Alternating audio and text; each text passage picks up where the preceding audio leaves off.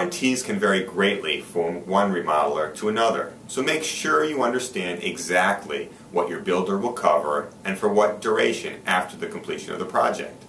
Also, ask about what resources are available to provide service if problems arise in the future.